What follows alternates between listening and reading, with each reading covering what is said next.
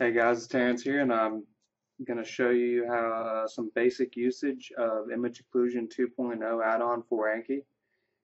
And we'll start off by uh, opening up Anki and selecting the profile that I like. Anyways, you will op open up the uh, note editor for Anki just like you normally would if you're going to add a normal card. really, Windows. Shaking the uh, Anyway, select uh, image occlusion and then browsing to the file that you have, the image file that you have downloaded and would like to edit and create cards from. You'll notice the header at the top and the footer at the bottom. These are like the, this would be a title and we'll create um, overlapping cards. I'll show you that first.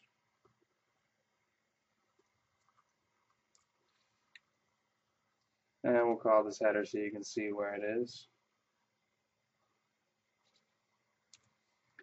And then footer here.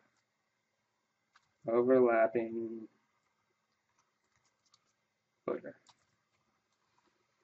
Okay, this is the tags box and you can put in whatever tag just like the actually what you, you will notice it is very similar to this the Anki note editor, but operates independently from it. So when I select the overlapping occlusions here, you will see that it doesn't affect anything in the actual Anki note editor. So be sure to just to um, look at these and make sure these are all correct for the image that you're editing rectangle here.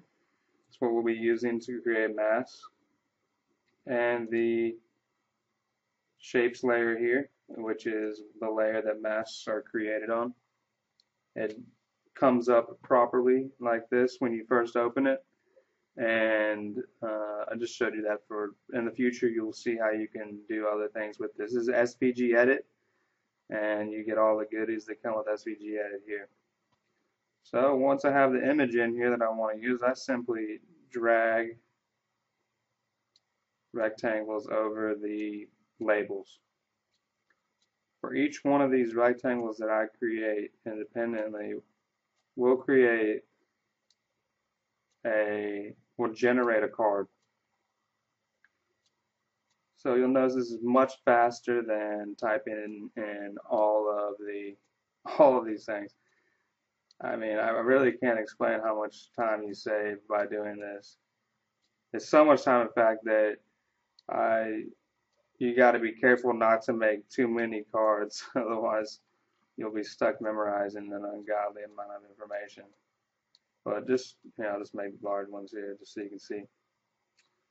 Okay, so then what we do is select, as you can see, these two rectangles are overlapping it will show all of the text except for one will be blocked out that you and you'll have to answer one. I'll show all the labels, excuse me. So these are overlapping.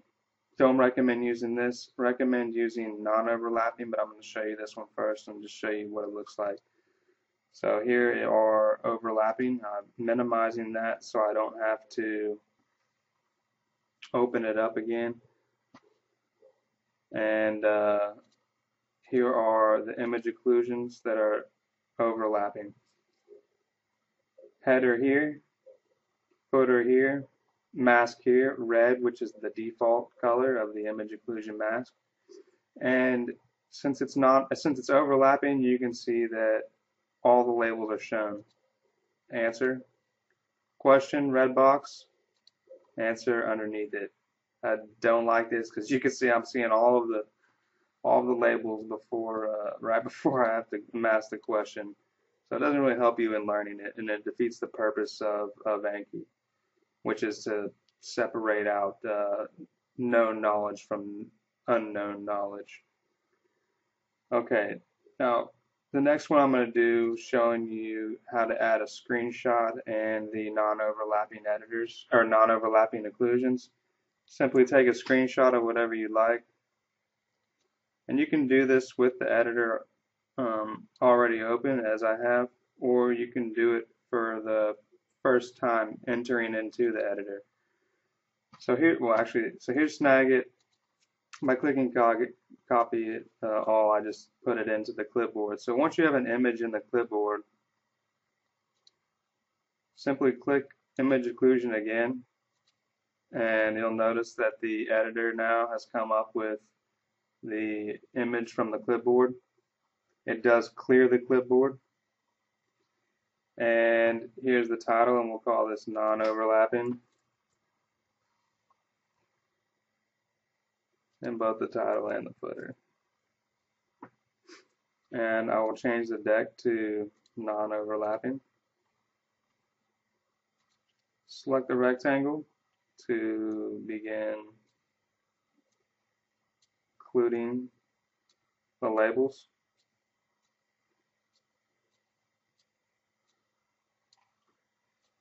These things have something to do with acne. I'm not really sure yet, but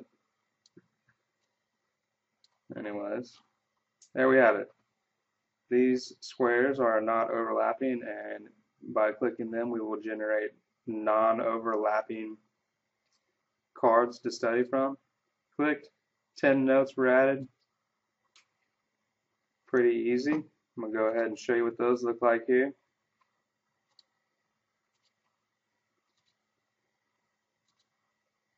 So these are non-overlapping, and as you can see, none of the labels are shown, and this is the way I prefer to look at it.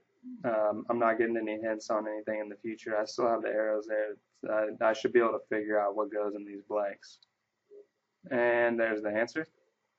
Next one. Header, footer. Here's the mask. Red default. And all the other ones are uh, covered up with white.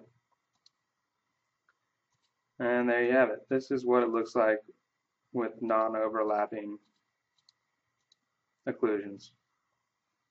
Pretty easy. Eyes, again, benefits are, are awesome eyes drawn to this, answer, eyes drawn to that. Creating the creating all these cards was easy, and uh, that's about it. Simple as that. All right, so that was the basics. Thank you for listening, and in the future uh, future videos, I'll show you how to do some more uh, advanced features and uh, features and, and with image occlusion add-on 2.0.